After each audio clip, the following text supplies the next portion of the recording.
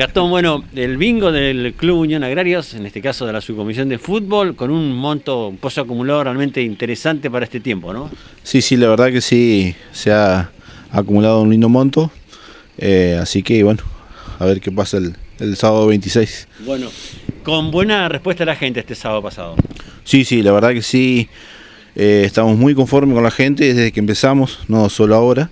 Eh, siempre ha colaborado mucho la gente y viene eh, sorteo tras sorteo, viene, se viene acrecentando la, la, gente, la que compra la gente, ¿no es cierto? Bien, y para eso también ustedes preocupados por brindar más premios.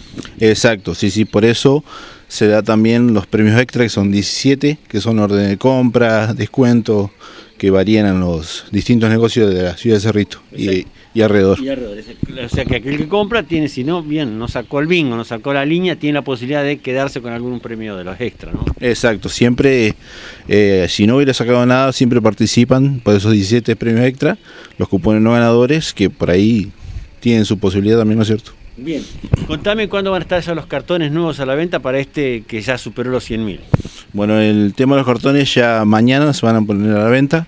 Los vendedores ya van a tener todos sus cartones para salir a vender. Así que eh, esperamos las la respuestas, de, o sea, las ventas, que sean buenas ventas. Exactamente, que la gente con, eh, colabore, contribuya como lo ha hecho hasta este momento, ¿no? Exacto, sí, como siempre, la verdad que sí. Nosotros de la subcomisión eh, y el club mismo eh, estamos muy conformes con la gente, la verdad que siempre han apoyado al club y lo siguen haciendo en, en época de pandemia. Un gran acierto este bingo. Sí, sí, la verdad que sí. Eh, o sea, si bien no lo hicimos antes, pero lo teníamos pensado, pero siempre faltaba ese pasito para dar, siempre charlábamos con Claudio. Y bueno, se dio primero con estos chicos de, de Alcaraz, con el, los bingos de todos los clubes de Paraná Campaña. Y bueno, después hablando y hablando, dimos ese pasito, entonces, gracias a Dios, nos fue bien. Una buena decisión. Sí, sí, la verdad que sí. Bueno, ¿y para estos próximos días tienen otra venta más?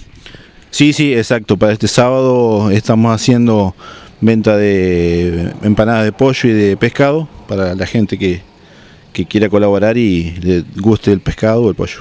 Bueno, ¿eso le puede comprar a quién? ¿A quién le puede adquirir esta, esta, estas empanadas que ustedes van a vender? Eso lo estamos haciendo todos los miembros de su comisión, que somos, está Lisandro, eh, Lego, eh, Fernando, Pablo, eh, eh, Pablo Jacob, me voy a olvidar de alguno seguro, Lucas, bueno, yo y algunos más que me olvido. Bueno, y en este caso, ¿qué costo va a tener la docena? Bueno, la docena de empanadas de, de, pescado tiene un costo de 400 pesos y las de pollo 350 pesos. Bien, lo más accesible posible. Sí, sí, exacto, para que la gente pueda colaborar y comprar. Bueno, ¿esto eh, dónde se va a retirar? Se va a retirar el sábado al mediodía por la cantina del CUAC.